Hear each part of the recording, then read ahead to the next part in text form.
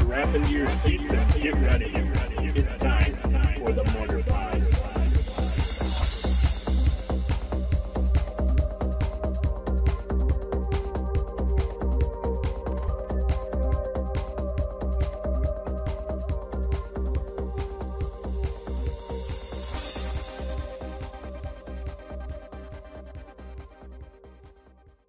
Hey everybody, Alex Stephenson here, and joined by Jake Faas, and we are doing a little episode of Mortar Pod for you for this week. So, uh, Jake, how you doing? I'm good. How are you?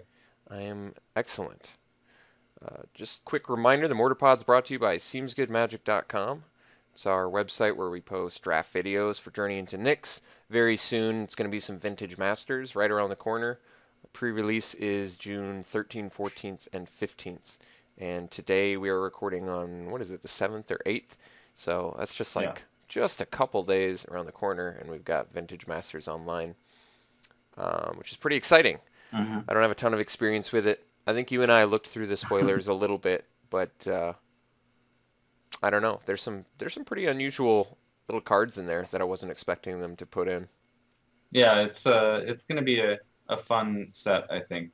I I'm excited to try it. I guess. Yeah, did they have like commander cards in there or something? Was that right? Uh, they put some commander, I'm sure, and then they put uh, the conspiracy cards in there. oh, weird. That's right. Yeah. So, um, I guess it was because they're not bringing conspiracy online. They're trying to give you a little taste of conspiracy and Mhm. still allow you to play the staples and vintage. Yeah. Uh, so that's cool. Yeah, Vintage Masters is going to be fun. I'm definitely planning to draft that a ton, which means I'm probably going to be stopping uh, the journey into Nyx drafts in just a couple days here. Uh, I I'm sure you can look up the price on it. I haven't yet uh, on how much Vintage Masters drafts are going to cost. I assume they're going to cost quite a bit, uh, probably 20 to 25 hmm possibly 30, but we'll see. All right, well, we've got a lot to cover today, so we're just going to jump right into it. Cyc- cyc- cyc- cyclical evolution.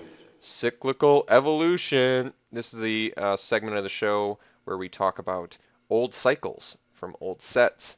We're systematically, chronologically going through every single uh, old set and looking for all the weird cycles. Now, uh, I think at first our first goal was kind of to like put every single cycle ever on there, but it's it's kind of been a lot more, I think, unique and fun to do what we're doing, which is I think some of the I mean there's been a couple that we could have considered cycles Yeah.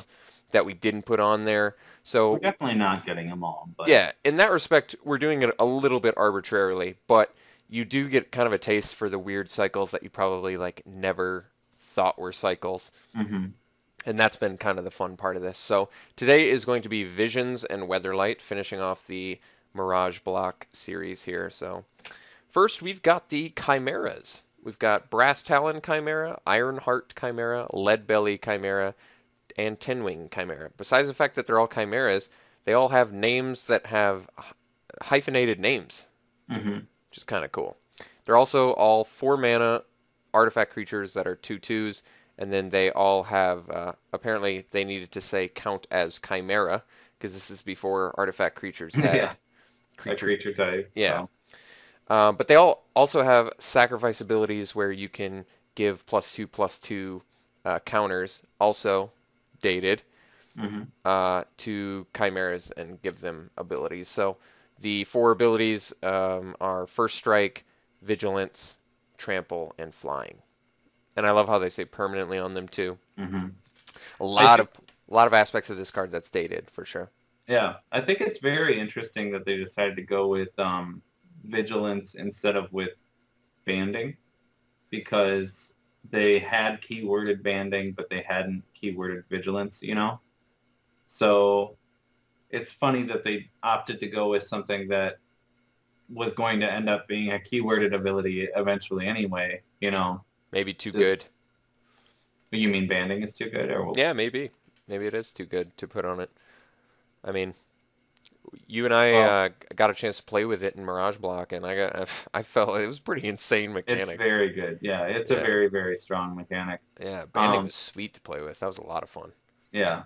It, it would be very good, and especially I can only imagine what the implications of like I get to attack with this guy that's my banding chimera, and then put all the damage onto him, sack him, give banding to one of my other chimeras for defense. You know, Wait, how Be- does banding work with uh, Death Touch? Sorry to interrupt, but is it like uh, well only the creature with death touch would have it, and if if no, you're you're- going up against it.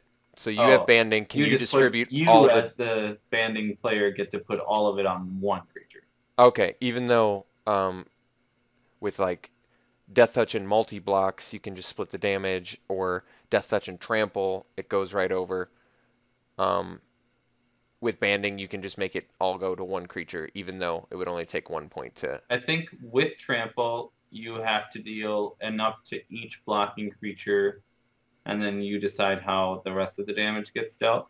So you would have to assign at least one to each still, and then you would Oh, get to go over. But I'm not 100% sure because I'm almost I just feel like you can just do all the damage assigning for banding. And Wow. But I don't know. Yeah, I don't know either. I feel like with trample in particular, it's like Gets confusing. you might actually trample over something, but I think you're just you're always the one that benefits. So I think Jeez. that you can actually screw over trample. Cool. Well, this is a cool cycle, regardless. Um, very dated, but I like how they're all like super kind of basic backgrounded pictures. I actually really like their backgrounds. I was noticing that earlier. They've got kind of a machinery look, like Mhm. blueprints in the background. Yeah, Really true. So you yeah, almost like the process of how they were built. Cool. All right, next we have a land cycle. So we've got Coral Atoll or Atoll, Dormant Volcano, Karoo, Everglades, and Jungle Basin. So this is a cycle of lands that they come in tapped, and when they come in, you bounce the uh, land type that you know uh, An untapped ver- version of the basic land type. hmm And then you get a land that taps for a color and a colorless. So it taps for two, but comes in tapped, and you have to bounce an untapped land. So quite a requirement, actually. hmm And Jake, you had sort of stated that for a commander, these are really only playable in the monocolor commander decks. Yeah, if you're not monocolor, then don't bother with these. Like these are really just there so that I mean they're they were fine at the time, maybe to an extent. They're really only good in commander if you're monocolor and then and then only barely. Because that untapped land part, you think it's not relevant, but it's so relevant, you know.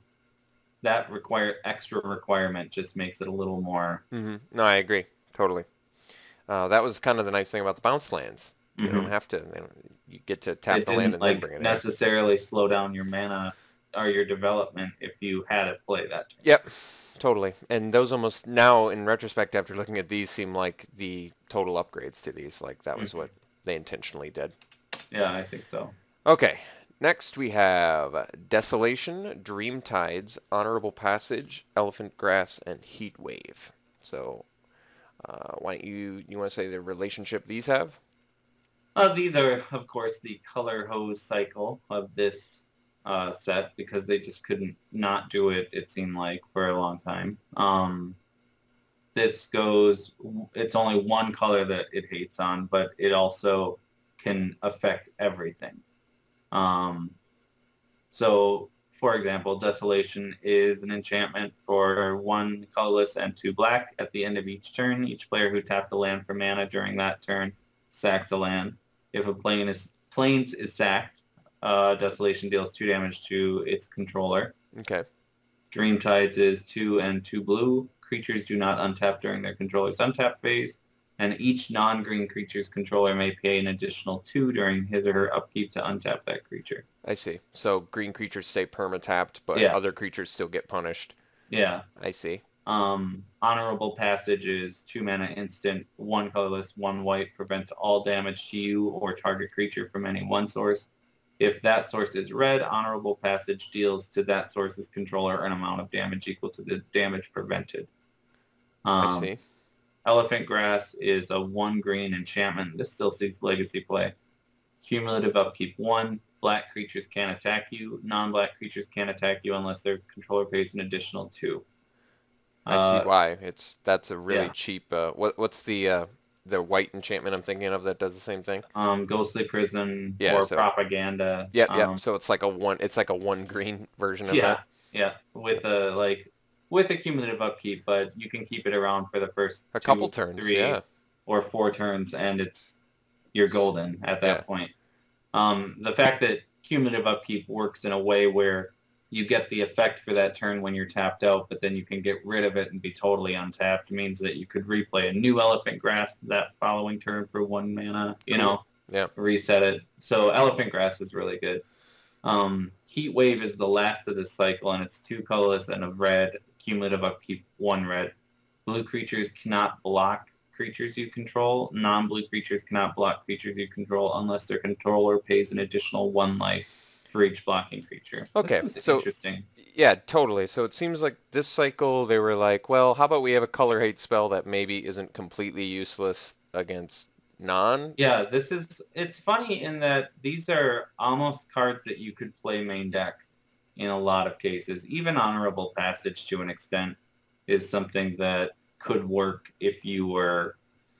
I mean, against a red deck, it's just ridiculous. But um, against any other color, it's still okay. Desolation is something you could easily build around. Um, Dreamtides is just a huge screw you to creature decks. I mean, Dreamtides is like a really strong card. Yeah, you had that in your Thassa Commander deck, I think, Yeah, right? Yeah, I do. Um, and it's just a, it's because it's such a good card. Yeah. Um, screw green decks is crazy. We have a friend that plays Nylea. Nylea. So, yeah. Yeah. That's, And I'm sure he was- hates that. yeah, really great to see against him. Um, This is a cool yeah, cycle idea, though. I like it. So it's like color hate, but hey, maybe. W- I mean, they probably wouldn't do this anymore since we've already said they kind of strayed away from color hate. But this mhm. was them kind of pushing the boundaries on power level of it even more, yeah, they were almost like or versatility of it, I should say. Our ver- our our color hate's not good enough. We need to give you a little better color hate. is Yeah, it's what true. It's like- doing with this. it's and it's like, dude, the color flexible. hate you give us is way too good. Stop True. it. It was flexible color hate when it was Yeah. unnecessary. Mhm. All right, let's try the next one out. We got Elkin Lair, Eye of Singularity, Pillar uh, Tombs of Aku, and Teferi's Realm. So right off the bat, I can see they're all world enchantments. Mhm. Um, beyond that, is this just uh, the cycle of world enchantments, or is there an actual relationship between them? It's pretty much just world enchantments. They're such such a unique thing that when it they warrants mentioning. yeah, Okay. it is something worth mentioning. So Elkin Lair, uh, four mana red one, four mana red world enchantment, and during each upkeep, you got to discard a card at random and set it aside, and then the player can play that card as though it were in his his or her hand. And if they don't play the card by the end of the turn, you get rid of it. Okay, that's kind of interesting. I Mhm. feel like it's almost it's pretty much do nothing at a certain point in the game, but Yeah. Oh, for sure. but it's still a cool idea. Eye of Singularity. Uh, when it comes in, bury all permanents with the same name. So destroy all permanents with the same name, except basic lands. And then it was that's kind of crazy. Wow. Yeah. And whenever any permanent other than a basic land comes into play, bury any permanent already in play with the same name. Wow. So talk about hosing uh, some lands. You could really mess somebody up with that. Yeah, this could be a real screw you. Um, don't quite understand what they were going for here. Everything's legendary, I guess, is what they were kind of doing. Which later we'll see they did on a Leyline. They, but, yeah, uh, they actually did that, and that's much better. That's fine. Um, we've got Pillar Tombs of Aku next. During each player's upkeep, they got to sack a creature, or they lose five life, and then you get rid of Pillar Tombs of Aku. So that one uh, looks like it's a little more squashy. It does this little five damage, and then it's out of town. It's out of there. hmm So it feels a little less enchant world because of that, because it's Yeah, weaker, because it just goes away. I feel like relatively fast sometimes. You know. basically, it's like a four mana, five damage to your opponent. Mhm. Um, or, I mean, if they've got chumps, they just sack them. There's also Teferi's Realm, the blue one. This is a three mana enchantment, and at the beginning of each player's upkeep, they have to choose an artifact creature. They choose artifacts, creatures, lands, or global enchantments. So non-aura Non- enchantments. non-aura, non-world enchantments. and then all cards of that type phase out. I think the Oracle text on it would just be non-aura enchantment, right? well, it's non-world too. They would have to put that on the uh, Oracle. Yeah, I think so. I, I think so. I'm gonna look, but I doubt I'm they did. positive. Why? I don't know. I, I I bet they count world as global now, but maybe you're right. I think it probably just says non-aura enchantment. Well, then it would just phase itself out. Your opponent, like in a multiplayer game, it would just immediately phase itself out. Oh, maybe. Oh, okay. Well, what's it say on the Oracle text? Um, nope, it is non-aura. You're right. Interesting. So it does phase itself out. So in a multiplayer game, the first player could just say non-aura enchantments, and then everyone else up until your turn would be unaffected by it, and then you would also have to choose something during your turn. Hmm. And then your the first opponent could do the same thing. They could just constantly name enchantment. That's weird. Okay. Um. So yeah, that didn't quite pan out like it was originally designed. I think. Uh, No. Interestingly enough, not too much of a relationship between these cards, but besides the fact that they're enchant worlds, like we said, and uh, this is the last uh, block that'll have it, right? Or is there? Yeah, no, this is the actually the last set that's going to do it. So Oh, okay. these are the last ones that were ever printed. Unfortunately, a failure, but cool, uh, cool idea. Just kind of poorly executed, I think. Yeah. All right, next we have the charm cycle from Visions. So we have Emerald Charm, Funeral Charm, Vision Charm, Hearth Charm, and Hope Charm. So the green one untaps permanents, destroys non-aura enchantments, or makes a creature lose flying. The black one uh, makes a player choose and discard a card, which is sweet because it's instant speed, by the way. Uh, gives a creature plus two minus one, which is sweet, so it's removal or gives a creature swamp walk, which okay, that one's not that great, but the other two modes on that one are very good. Mhm. Vision charm, the blue one we've got phase an artifact out, mill someone four, or all lands of one type are basic lands of your choice until end of turn, which is actually kind of interesting. Hearth charm, the red one, uh, destroy an artifact creature. All attacking creatures get plus one plus zero, or a creature with power two or less is unblockable. Then we've got the white one. Uh, give a creature first strike. Target player gains two life, or destroy an aura. So Hmm. gain two life is funny. That's like Pitiful. Like pathetic. that is what could This- it be? Hope Great. Charm is by far the worst. Um, Actually, I mean, Red given Charm- first strike, given first strike's not the worst. It's a it's a combat trick a little bit. Yeah, I mean, you're I- right. It's it's probably the worst, but still. I, I still think I value like, uh, I guess Vision Charm is the worst in limited.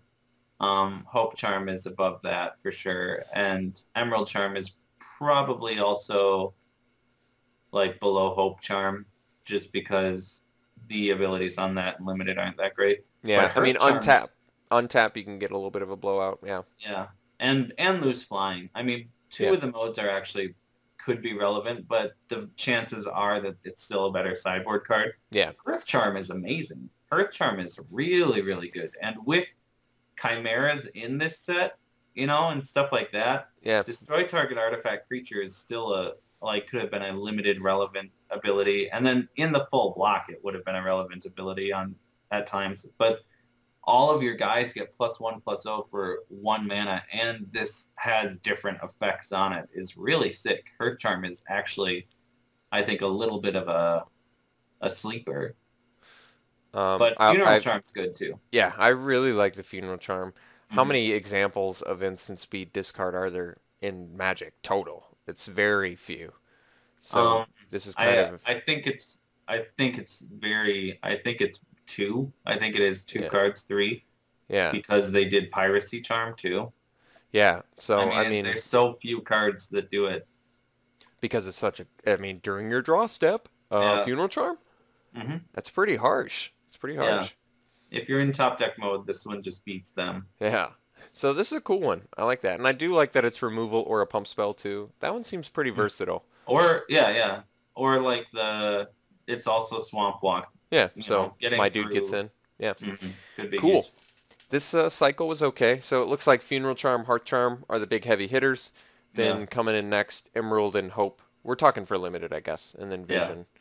Coming in. Vision last. has no purpose in limited, but Vision actually has more purpose in constructed, I think, than. I mean, Emerald is actually sideboard uh, legacy playable because it's a one mana enchantment destruction spell. Hmm. Um, and Funeral Charm is obviously it was fine. I think in standard when it was around. I I played it in a, a like a mono black rack discard deck with Stupor and stuff like that, and Smallpox. When uh, Time Spiral was in standard. Okay. Cool cycle though. Uh, I'm take it you don't like these pictures as much as the Mirage Charm cycle. Uh, I don't know if they're as sweet. they're not. They're still cool. They're not even sweet at all, actually. I think they're okay. I think Uh, I don't like the Emerald much. I think the Funeral looks kind of cool. Vision I looks kind of cool. Funeral is the coolest. Vision is all right. I'm not impressed with any of the other ones. Funeral is the coolest though. Um, I think I like the color scheme of it more, and these other ones are just kind of they're a little too plain. hmm And I also don't like the. I guess I don't like the way that they're set up with the names: Emerald, Funeral, Vision, Hearth, and Hope. You know, Don't like the names. Emerald is actually a jewel. Funeral is not. Anything. That's like something. And then Vision, Hearth, and Hope are all a little better. They're more abstract and they're something. I you see know, what you're saying. But the first two, Emerald and Funeral, don't really make sense. No, that's a good point. They didn't really have good name consistency there. Mhm. Okay, so next we've got a cycle of four cards, and uh, Jake and I kind of found something odd with this set was there seemed to be two, or I believe maybe even three cycles. I think it's four, actually. Oh, okay. Four total. So we have four cycles where each one is missing uh, the fifth color as part of it. So this one is the Knight cycle from Visions. We've got Fallen Askari, Knight of the Mists, Knight of Valor, and Suq'Ata or Suq'Ata, Suq'Ata Lancer. And each of these uh, have flanking and uh, Another ability. and another ability. Yeah. Yeah. And they're they're the common knights, basically, from this set. And flanking is a cool mechanic. I enjoyed Mhm. that one. That's a cool one.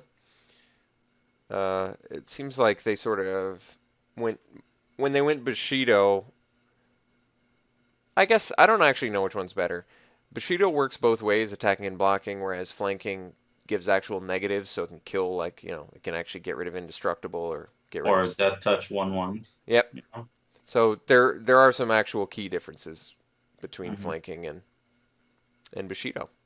And also like burn spells become better, you know? Like, oh your guy is right. negative one, negative one, okay, then I'll shock it. Mhm. You know, you can't do that with Bushido. That's very true. So that's kind of that's a tough call to say which one's better. They might actually be about the same power level. Uh, as far as these knights go, which one's your favorite one?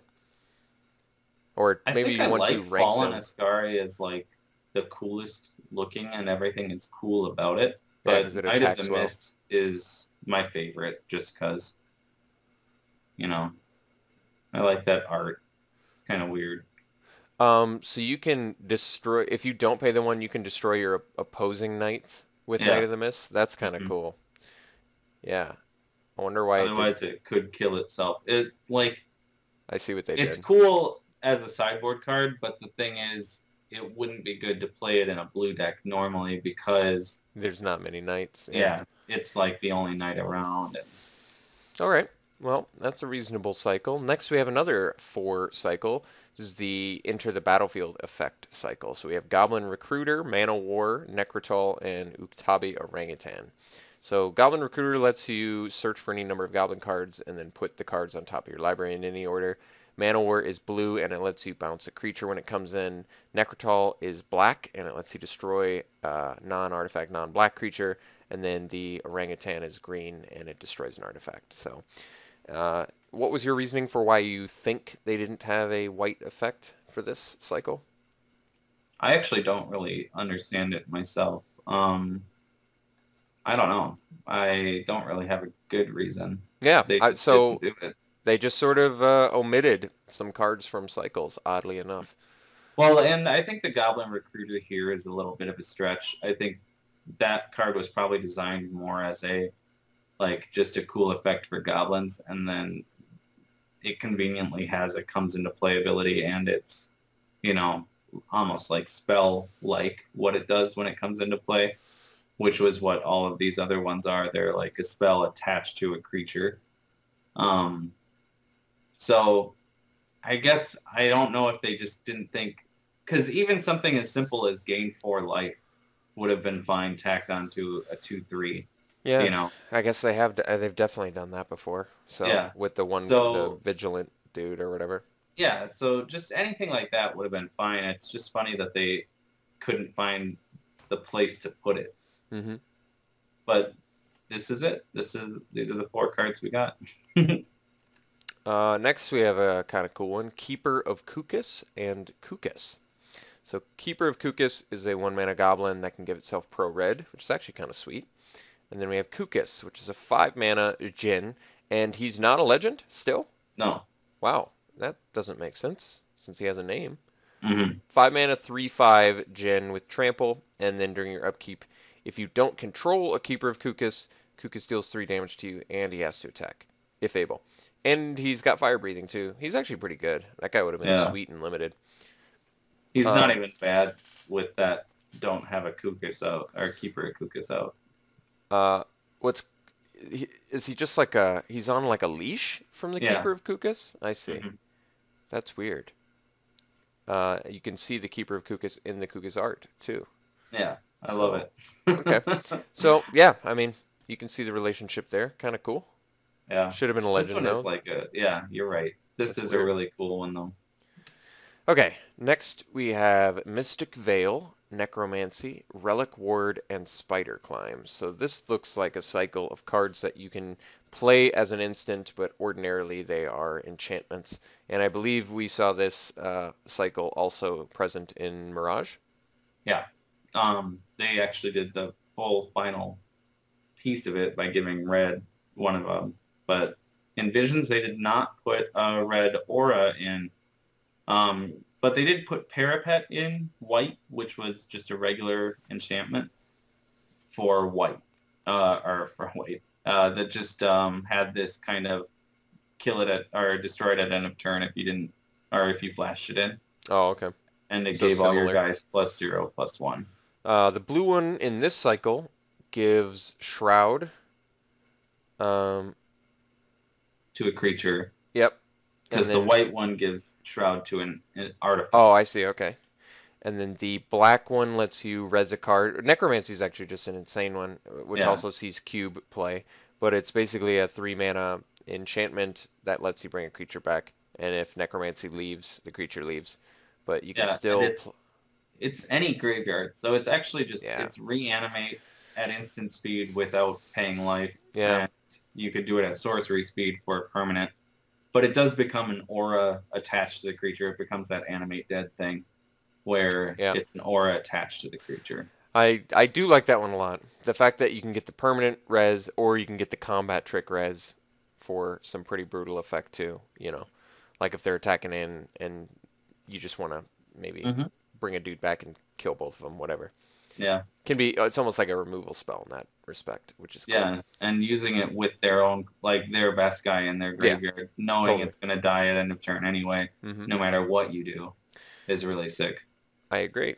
We also have Spider Climb in green, which gives plus zero, plus three, and reach for one mana. So um, another one of those just surprise blocks. I can do this. So you weren't expecting that.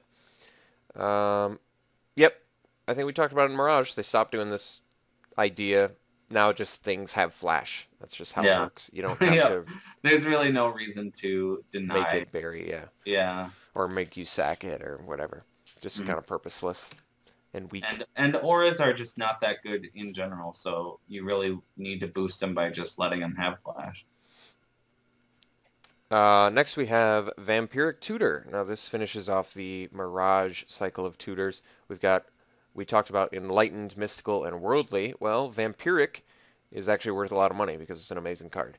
You pay Mhm. two life and you can search for any card and then you put it on top of your library. So this is uh, probably what is this worth like a hundred bucks or something? Maybe a no, little bit more. no, no, Not that much. Okay. I thought it was don't worth think that so. much. It's not played in Legacy. It's banned in Legacy. Oh, I see. Okay, so and as is Mystical. So if it were legal in Legacy, it'd be worth a lot more. I see. Well, uh, both mystical and vampiric are definitely definite staples of cube drafts and Mhm. uh, very cool cards. And yeah, vampiric tutor is no exception. Very, very powerful effect Yep. there. And they're both great for Commander, obviously. Oh yeah, yeah, totally. All right, next we have uh, this is going to transition us into Weatherlight. We have Chronatog and Necratog. Now these are also Atog creatures, like uh, Atog from Alpha or Antiquities and Foratog from Mirage. We've got Chronatog, which is a two mana one two, and you can skip your next turn and then give him plus three plus three, and you can only use it once each turn. And then we have Necratog, which is a three mana one two, and you can remove the top creature card in your graveyard from the game and give him plus two plus two until end of turn. So uh, we see, unfortunately, another antiquated thing peeking its head uh, out from a dirty corner.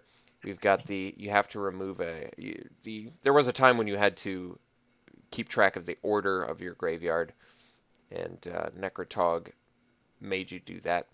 And uh, apparently, in formats such as say Legacy or Vintage, there are actual times where you have to um, pay you always have order to your- maintain the order of your graveyard. Okay, in just older formats in Yeah. general. Okay. Mhm. Where Because it matters, they're- you have to do it. Yep. Because they're just cards that That actually consider which cards are where in your graveyard. So, uh, Necratog's kind of cool, though. I could see building some sort of crazy self-mill deck at the time, maybe, or something crazy like that, if Mm. you had enough creatures. Chronatog seems a bit sketchy. Having to skip your turn doesn't seem like something you want to do most of the time, even if you can get in for four at a cheap cost. Yeah, my guess is it's best with Final Fortune, where Final Fortune only cares if you have that turn and you lose it, the game at the end of it. So if you skip the turn where you would lose, you never have to lose the game. But you don't get the extra turn, do you? You don't get an extra turn, but you skip that turn that you would lose. So, you know, if it means that you're going to hit them for four, is it worth discarding the two drop, basically, or the two minute spell? That's kind of funny. Yeah. It's still pretty. Uh, I guess it's like it's still a control finisher. It's slow, but it's still a, a control finisher. Yeah. Alternatively, it could also just sit back on defense um, in like a stasis build. Oh, okay. I you could see that. just skip your turn during your opponent's turn each turn. I think most cards that skip turns uh, just kind of are a big turnoff to me in Yeah. general, for the most part. It's really tough to motivate me enough to want to skip my next turn. Yeah, There's not a I ton of cards that do it. I think I think the stasis lock is actually the thing that was the reason to play it. I see. because you didn't care about your turn at all with stasis. Your plan was to tap them out so that you could just keep them tapped out. It's cool. Uh, not my style, but if people were playing that, that's cool. Mhm. All right. Next, we have a, another uh, weird cycle. We've got Aboroth, Heart of Bogardan, Wave of Terror, Psychic Vortex, and Revered Unicorn. So Aboroth is green, and it's a six mana nine nine with cumulative upkeep. You put a minus one minus one counter on it. Heart of Garden is red with cumulative upkeep two, colorless. And if it's not paid, it deals damage equal to its last paid cumulative upkeep to target player and each creature he or she controls. So that's kind of cool. It builds up and then becomes an explosion to your opponent mm-hmm. when you stop paying it. We have Wave of Terror, which is the black one with cumulative upkeep one, and you can bury each creature with casting costs equal to the uh, Wave of Terror's last paid cumulative upkeep. Psychic Vortex, which is blue, cumulative upkeep, draw a card, and then at the end of each of your turns, you have to sack a land and discard your hand. And then we have Revered Unicorn, which is a 2 mana 2 3 with cumulative upkeep 1. And if it leaves play, its controller gains life equal to its last paid cumulative upkeep. So that's a sweet card, too, actually. Mhm. Um, so maybe you want to, first of all, say how are these related? Uh, except for our uh, Aboroth, I guess. Aboroth? Yeah, Aboroth, probably, because like a tree.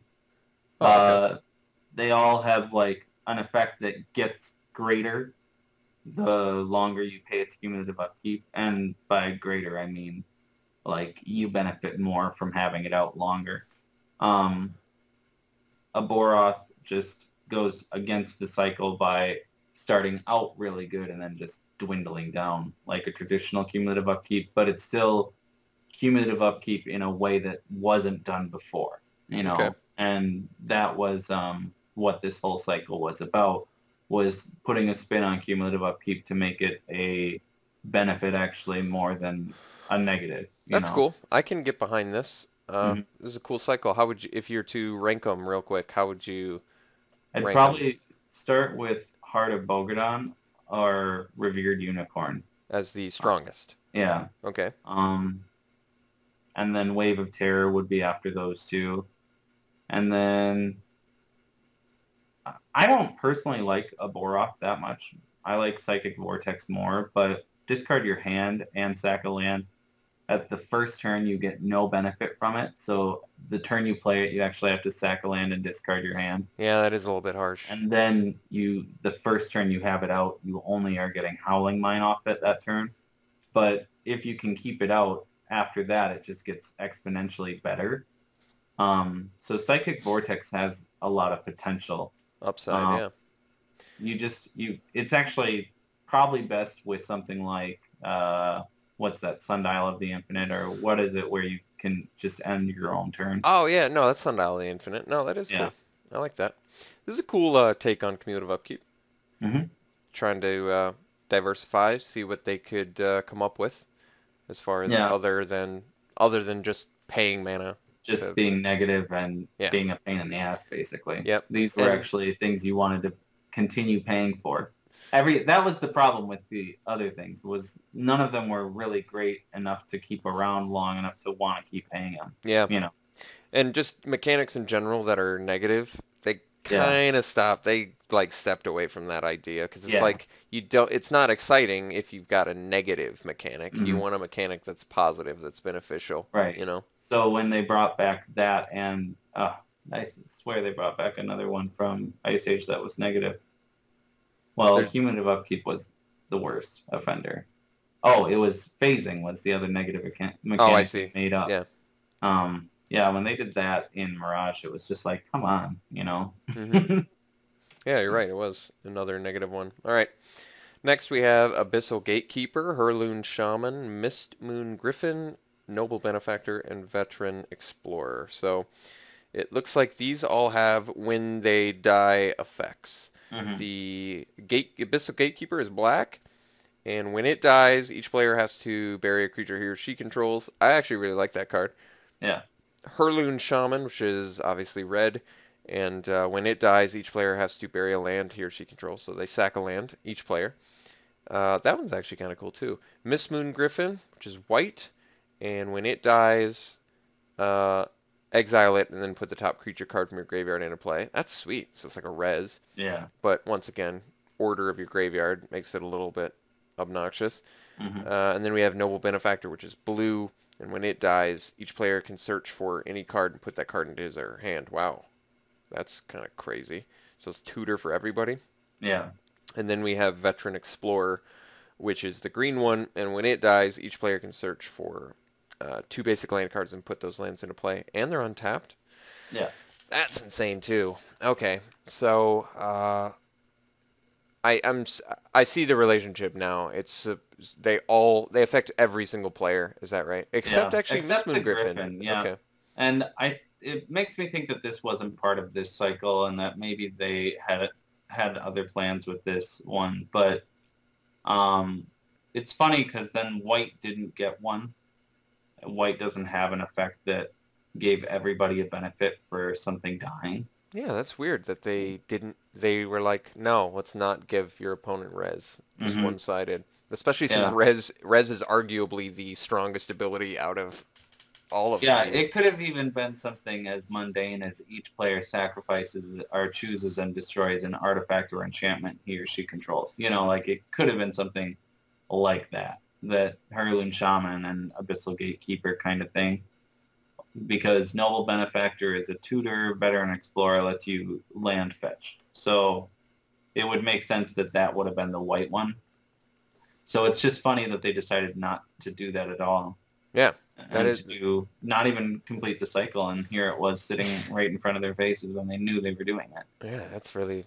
This was a this was a weird uh, block for for cycles. for half finished cycles. Yeah. Yeah, that was really strange. It was just and you're baited right. Doing doing the res thing would have been super easy for them too. So Yeah, to really make it double sided.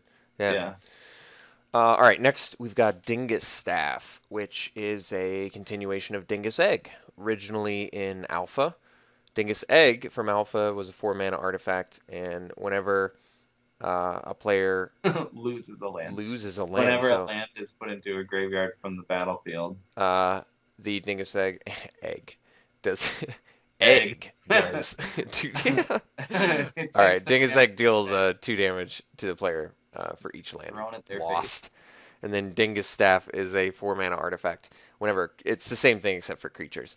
So uh, you can see definitely a relationship here. Name similarity, idea similarity. Mhm. Um, not much to say about that. Just sort of a continuation.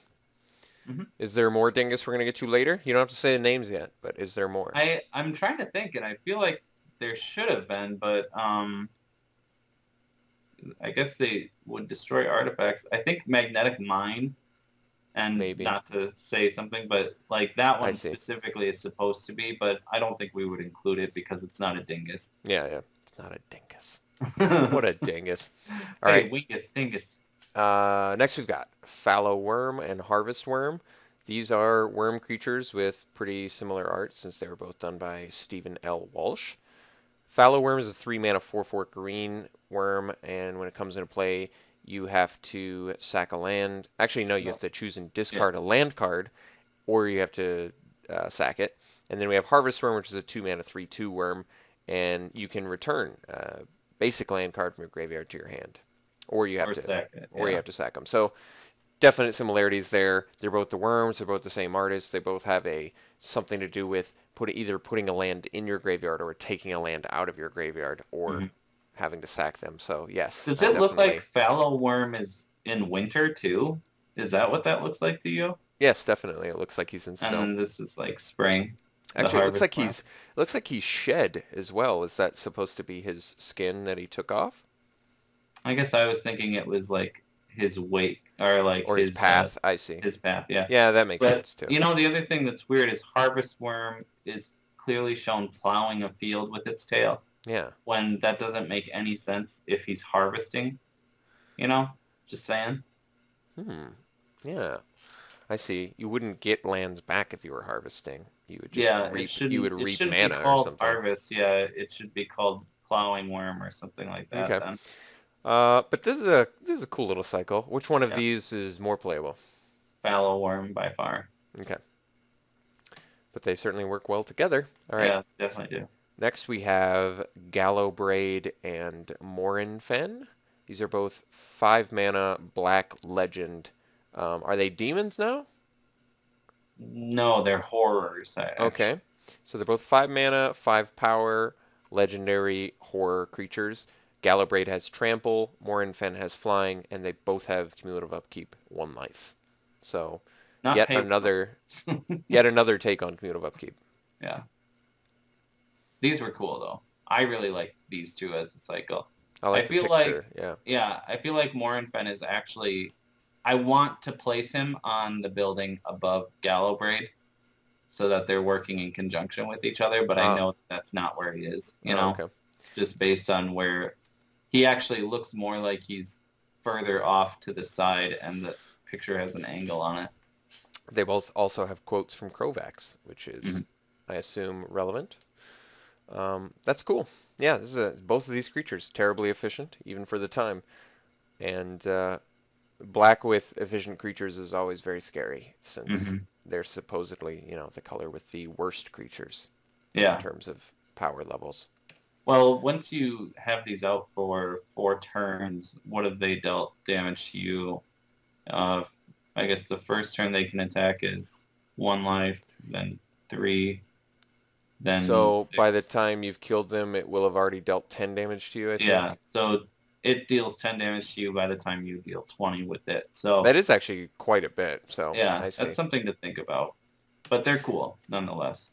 Okay, next we have Southern Paladin. Now this is a continuation of Northern Paladin, all the way back from Alpha. So Northern Paladin is two and two white for a three three, and you can pay two, tap it, and destroy black permanents. And then uh, Southern Paladin is two white and tap and destroy a red permanent. So I think Southern Paladin is Pretty cool. actually so much worse than Northern Paladin, but I. I, love them both.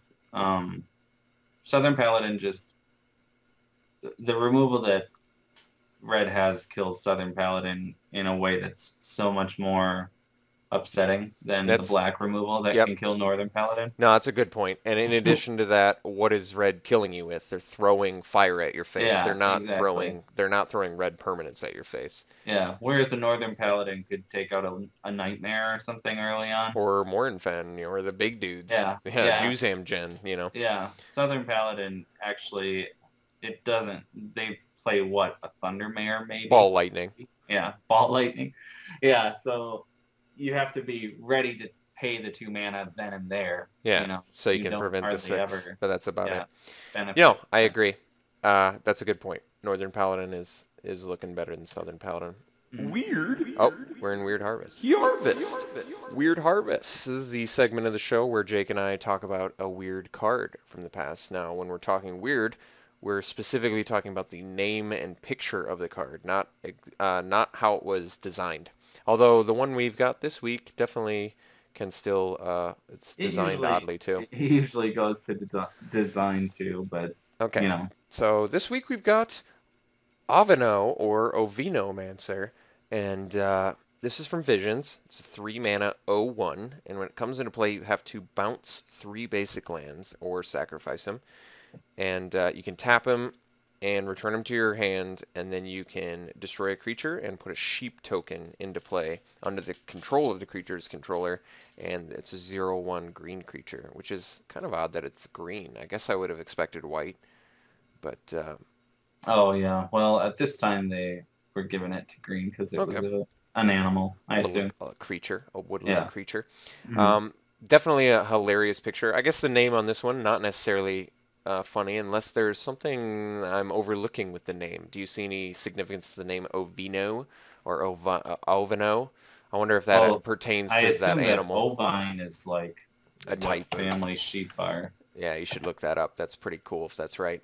Then it's Yeah. o- of relating to or resembling sheep is ovine. If you describe something as ovine. Oh, okay. So it's Ovinomancer. Okay. Yeah. That's cool. Uh, what's hilarious about the design, before we get into the picture, is you bring it in, you have to bounce three lands. Then even when you first use it, you have to bounce it to your hand. So Yeah. there's just so much that Well, it sets you back. I mean, it's such a powerful effect. However, like even in block, if you had Fervor out and Ovinomancer, it would just be a three mana sorcery, exile a creature and put a zero one into play under its owner's control. Like that's how it would be. Oh, I see. Just do it in response to the bounce ability. yeah, so you don't have to bounce the lands. to your hand. Yeah. The thing was though, um, at the time in the rules, you had to resolve all upkeep triggers before you could activate abilities, and the same was true with comes into play effects. You had to resolve all of those before you could activate the creature's abilities. So like you had to deal with the return three basics or bury it thing before you could tap to Oh, act. okay. All right. So So even giving it haste at the time wouldn't have mattered. I see. So it's better now than it was Yeah, then. it's much better now. Okay, uh, let's talk about the picture. Let's dive right into it. So we've got uh, a guy, uh, and you've seen uh, Monty Python, the Holy yeah, Grail. so it's it's definitely Tim this Yeah, time. Like it's they- Tim the Enchanter if from you uh, thought it was Tim on with Prodigal Prodigal Sorcerer. Sorcerer. Yeah. or sorcerer, this one is Tim. Yep. So this is definitely Tim. That is unmistakable headgear with the the sheep Mm-hmm. yeah, horns the, on it. Yeah, the double horn skull cap. Yep. And uh, he's. I presume he just snapped his finger, or he just held his hand up, or he something like that. I, I want to say he snapped his finger. I so it's safe to assume. and uh, he's not looking at a knight behind him, but uh, he just transformed a knight of some sort into a sheep. And uh, the sheep's facial expression is absolutely hilarious. It's like hilarious, a, yeah. it's a surprise. It's a mixture of surprise and fear, and it is surprise. so you get this awesome surprise uh, sheep I love expression. the sheep legs straight out of uh like a iron armor plate. You know, Yep. it's so great. And you get a little sheep tongue in there too. You get Yeah. a little pink tongue. Yeah, the art is really great. If Yeah. you are an audio listener, definitely check out the art. Yep. So Kevin Walker did a great job on that. I Yeah. like it. I And it's feel like just it's it's a funny picture. It's perfect for Weird Harvest. hmm I feel like Kevin Walker's art has gotten progressively worse, actually, which Oh. is sad to say. Oh no. Well, Because this is a really, really good piece. if Kev Walker listens, I'm sorry. I, I don't Yeah, hold sorry, that. I don't hold that same uh, belief uh, until I see it. Yeah, and you know I'm classically trained in all art, so my my opinion is totally Yeah. all all forms of art, by the way. Okay, well, um, I hope you enjoyed it. We we had to pound through quite a bit there, but uh, I'm satisfied, and uh, I appreciate you guys joining us this week. And uh, stay tuned for some vintage masters coming right around the corner. And uh, until then, enjoy some more Journey into Nyx drafts. Also, check out the Seems Good Magic card giveaway. I give away cards every week. This week, I'm giving away a uh, FNM promo dissolve, so that one's kind of exciting. All you have to do is uh, name your uh, one of the worst counter spells and then why it's the worst. And uh, also check out uh, last week's Mortar Pod uh, if you want to do. If if you didn't catch last week's, you might want to because there's some sort there's some interactions between the one we just did, Visions, and Weatherlight and Mirage. So you can sort of see uh, the overall idea of how they did the cycles for the block. All right. Well, uh, thanks for joining us, and we'll see you next week.